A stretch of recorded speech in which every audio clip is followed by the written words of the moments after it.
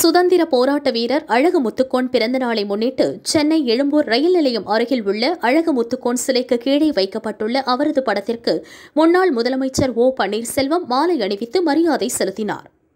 நடைபெற்று முடிந்த நாடாளுமன்ற தேர்தலில்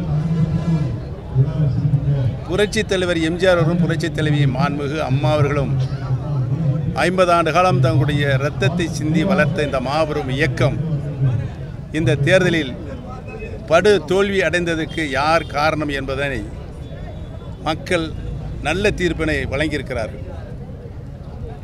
அனைத்திந்திய அனார முன்னேற்ற கழகத்தினுடைய வெற்றி சின்னமாக இரட்டை இலையை ஏழு நாடாளுமன்ற தொகுதிகளில் தன்னுடைய டெபாசிட் தொகையை இழந்திருக்கிறது.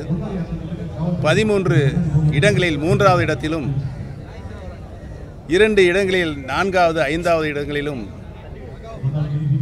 அதனுடைய நிலை இன்றைக்கு உருவாகியிருக்கிறது உருவாவதற்கு காரணம் அனைத்திந்திய அன்னார முன்னேற்ற கழகம் தொண்டர்களுக்கான இயக்கமாக தொண்டர்கள் இயக்கமாகத்தான் புரட்சித் தலைவர் எம்ஜிஆர் அவர்கள் இந்த இயக்கத்தினை உருவாக்கினார்கள் நிறுவினார்கள்.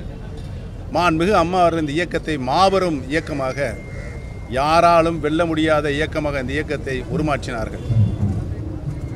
இன்றைக்கு நடைபெற்ற இந்த பொதுத் தேர்தலில் நாடாளுமன்ற பொதுத்தேர்தல் உட்பட பத்து தேர்தல்களில் அனைத்திந்திய அன்னார முன்னேற்ற கழகம் இந்த மாபெரும் இயக்கம் வீழ்ச்சி அடைந்திருப்பதற்கு யாருக்கு என்ன காரணம் என்பது நாட்டு மக்களுக்கு நன்றாகவே தெரியும். இந்த நிலை தொடரக்கூடாது என்பதற்காகத்தான் பிரிந்து கிடக்கின்ற அனைத்து இந்திய அன்னார முன்னேற்ற கழகத்தினுடைய சக்திகள் இணைய வேண்டுமென்று அனைத்திந்திய அன்னார முன்னேற்ற கழகத்தினுடைய அடிப்படை தொண்டர்கள் கூக்குரல் எழுப்பிக் கொண்டிருக்கிறார்கள். மக்களும் இதே கருத்தை வலியுறுத்தி கொண்டிருக்கிறார்கள்.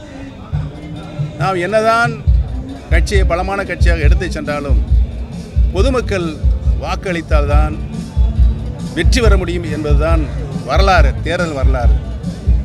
இன்றைக்கு இருக்கின்ற நிலையில் பொதுமக்களுடைய கருத்தை நல்ல அபிப்பிராயத்தை நாம் இழந்திருக்கிறோம். இதுதான் நிதர்சனமான உண்மை.